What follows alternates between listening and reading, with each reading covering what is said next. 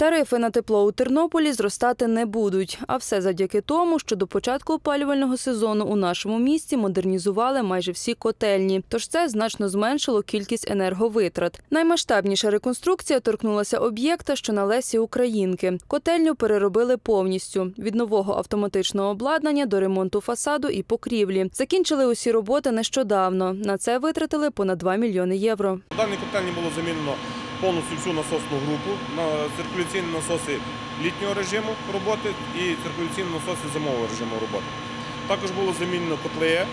Встановлено в даний час три нові сучасні котли. А ще економайзер, який збільшує ефективність виробництва тепла та знижує кількість використаного палива. Така модернізація була потрібна, впевнений Михайло Горбань, адже нині котельня багато економить. Тобто, якщо б не було, то ми були, були б змушені підняти тариф, а дана модернізація вона сприяє не підняттю тарифів на теплову енергію. Тож тарифи на тепло до кінця опалювального сезону рости не будуть. Про це наголошують у міській раді Тернополя. Нам вдається зберігати сьогодні ціну на тепло гарячу воду для населення, навіть незважаючи на підняття ціни на газ, ми не будемо піднімати е, вартість ціни для населення.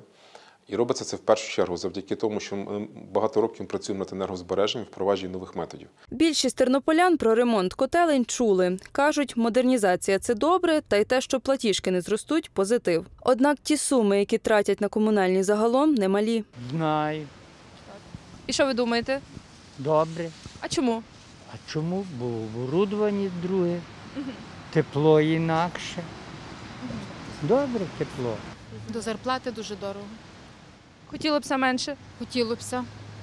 І взагалі до нашої зарплати все дуже дорого. Не тільки комуналка, все дорого. До слова, загалом у Тернополі модернізували обладнання у дев'яти котельнях. Кошти на це виділили з програми Міжнародного банку реконструкції та розвитку.